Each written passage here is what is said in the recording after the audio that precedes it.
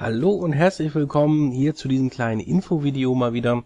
Ich bin euer Mammut und ich habe ein paar kleine Infos für euch. Und zwar werde ich in den letzten Tagen häufiger mal gefragt, Ey Mammut, wie machst du das hier mit diesen benutzerdefinierten Thumbnails? Ich will das auch können und sowas. Ja, die Sache ist die, YouTube plant jetzt so demnächst äh, für alle monetarisierten äh, YouTube-Accounts, also alle, die diesen Monetarisierungsvertrag, also ich nenne es mal Vertrag abgeschlossen haben, bekommen nach einer Zeit dann diese ganzen YouTube-Partnerfunktionen, wie zum Beispiel die benutzerdefinierten Thumbnails, die dieses etwas größere Kanaldesign, wo man dann so ein Banner oben drüber machen kann und sowas. Und auch, dass man Videos äh, zum bestimmten Zeitpunkt freischalten kann.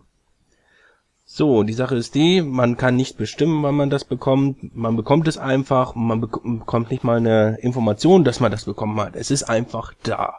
Man kann nichts dafür tun, dass man es schneller bekommt oder sowas. Es ist einfach da. Gut, das war's auch schon mit diesem Infovideo. Ich hoffe, es hat euch soweit geholfen. Und ja, wenn ihr sonst wieder irgendwelche Fragen habt, fragt mich. Ich versuche euch das zu beantworten und sage da mal Tschüss und bis zum nächsten Video von mir.